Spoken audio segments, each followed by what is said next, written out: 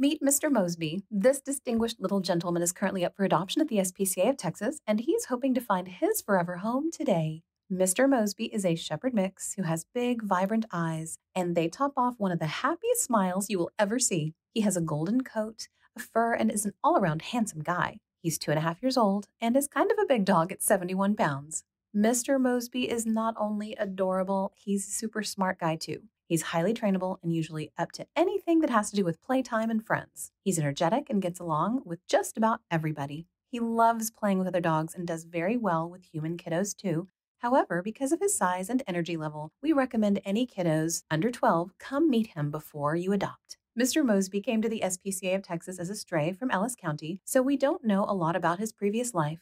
Like all pets from the SPCA of Texas, he is now neutered, microchipped, and current on all his necessary vaccinations.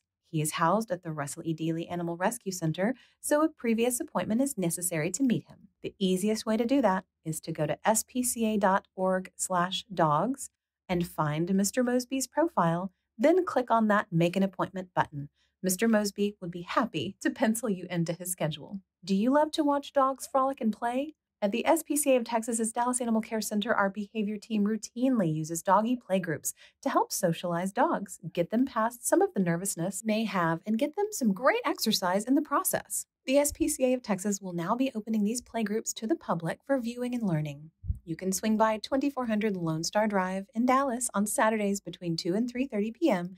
and we'll invite you back to the play yard to catch the action. Watching playgroups is also a great way to spot the right dog to adopt and bring home to play with your family on a permanent basis. Keep track of all the goings on at the SPCA of Texas by heading over to spca.org.